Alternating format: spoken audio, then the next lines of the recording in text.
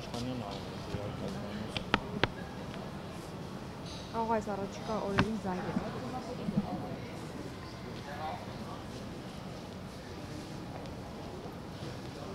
Ուղումներ են անցնում այդ մեքենաները երթևեկելուց առաջ, սկսելուց առաջ եւ վարորդները արդյոք առողջական ստուգումներ անցնում են։ Լիցենզավորման դեպքում անպայման անցնում են։ Հիմա դա համար պետք է բարձենք լիցենզավորված է թե չէ,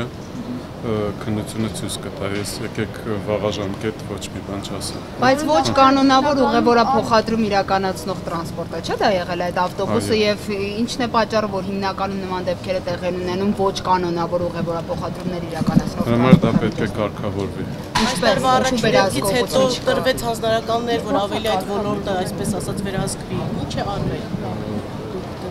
Օրենքեր նաև Օրենքի նախագիծը, օրենքի նախագիծը ներկայացված է ազգային ժողովում։ Իսկ ինչու է այդ օրենքի նախագիծն այդքան դանդաղ քննարկվում, մինչդեռ մենք Ուլայի ողբերգական դեպքը ունենք։ Ուլայի Այդ դեպքի հարցը ինձ մի տվեք, հա, խնդրում եմ, ես չեմ կարող պատասխանել։ Այսինքն դա ազգային ժողովն է ուշացնում այդ օրենքը։ Ես չեմ կարող ասել ով է, բայց Վիրավորները հետո կարող է տեղափոխվեն արդեն որ վիճակները մի փոքր Հիմա թեթևանան։ հիմա ստեղծվել է խումբ, որը որ մեկնել է այդտեղ փոխնախարարի ղեկավարությամբ եւ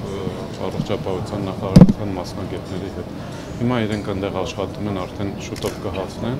եւ կաշխատեն Ռուսաստանի տրանսպորտի նախարարն էլ հանձնարարականներով իրեն էլի այդ իրենց կողմից էլ եկում ուղարկվել այնտեղ տեղում աշխատում են։ Բոլոր նորությունները մենք իմանանք։ Իսկ մեր կանոններով պարտադիր է, որ երկու վարորդ լինի։ Սովորական նախագիծ ինչ պիտի արի։ Միայն նախագծով օրենսդրական դաշտ պետք է եւ հետեւի, որ կատարվի օրենքը։ Պարոն նախարար, երկու վարորդը պարտադիր է մեր Պարտադիր է։ կանոնում։ Պետք է որ լինեն երկու վարորդ հեռավոր Բայց դե դրանք անկանոն ուղևորափոխադրողներ են, ինչպես է այդ դեպքում վերահսկողությունը ինչպես արվում։ Օրենքով ո՞նց է նախատեսվում։ օրենքով գոյություն ունի տրանսպորտային տեսչություն, որ պետք է ինքը կարգավորի։ Բայց հիմա քանի որ դա կարգավորման դաշտում չի, դրա համար օրենքը ներկայացրել ենք օրենքի փոփոխության ազգային ժողով։ Ազգային ժողովը ինձ թվում է հիմա շուտով կվերանայի եւ արդեն կբերենք բոլորին օրինական դաշտ։ Դուք որպես նորանշանակ նախարար, ինչ որ կերպ կմիջամտեք, որ գորի այս դեպքից հետո այդ օրենքը շատ ավելի արագ է։ Իհարկե, իհարկե, ես իհարկե իմ հիմնական խնդիրներից մեկը կլինի դա, որ օրենքը շուտ ընդունվի, վերահսկողությունը իրականացվի եւ ոչ միայն ավտոբուսային այդ միջազգային ուղևորափոխադրումներում, այլ նաև տեղական, այլ նաև տաքսիներին, բոլորը, որովհետև բոլորս հասկանում ենք, որ դա քաղաքացիների անվտանգությունն է։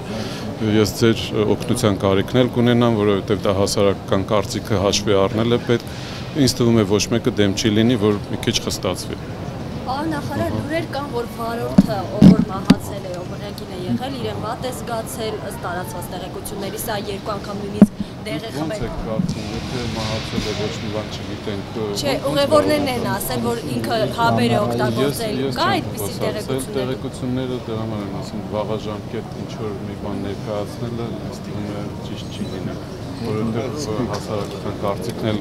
ավելի շատ խոսակցությունների առիթ ստեղծենք, ավելի լավ է սպասենք քննությունը Իսկ թավման տաքսեր եւ այլն կա։ մենք մշակում ենք, Իսկ այս տուժածների ընտանիքներին փոխհատուցում տրվելու է։ մշակում ենք, հուսով եմ, որ կանենք ամեն ինչ։ Այսինքն փոխանցման հարցը դեռ կա օրակարգում։